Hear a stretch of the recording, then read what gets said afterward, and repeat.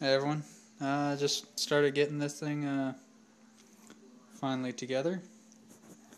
Actually had to open this section back up. So that guy goes in there, right there. So I'll just glue him back in.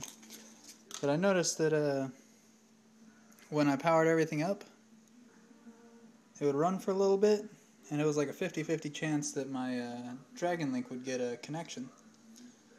So I started messing around with it, and realized that I was running out of power because uh, this guy has a 3 amp switching uh, BEC in it.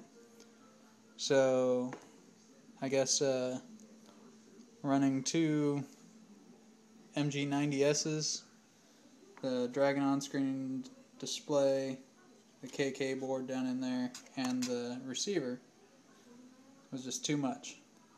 So what I've done now is I have the Dragon on-screen display and the receiver powered from the switching BEC, and then I put another 3 amp UBEC in here to power the KK board and the servos. So that's how it's going to go. Now it powers up fine. Everything looks good. So that was it. Hit a it's definitely interesting when you run out of power because the uh, Dragon Link just lost connectivity. It didn't shut off, nothing. It just, the link light on it would actually uh, just shut off. So, after I uh, did a couple tests, disconnected the KK board, and only had the Dragon on-screen display and the uh, Dragon Link powered, everything went fine. So that's why I uh, isolated the UBEC, the only thing going to it now, or isolated the KK board and put a UBEC on it.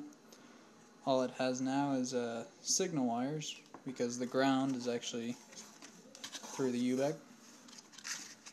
So, should work good there. Tested it, fired it back up, everything ran good.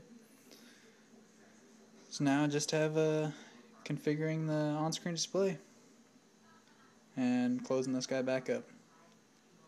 So hopefully my uh, GPS will come in soon.